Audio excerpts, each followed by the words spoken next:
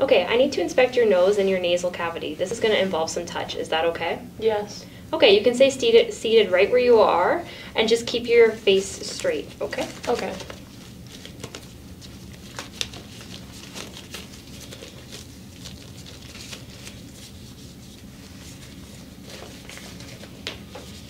Okay.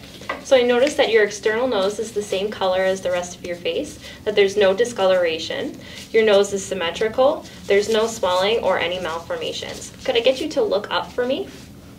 So I'm going to place my finger on the tip of your nose so that I can inspect your nasal cavity. Is that okay? Yes. Okay.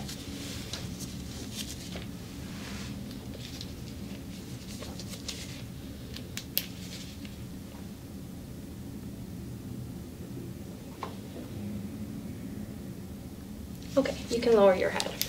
Okay, so I noticed that your nasal mucosa is a pinkish red, that there's no discharge or any bleeding, there's no swelling, no malformations, and no foreign bodies present. Okay.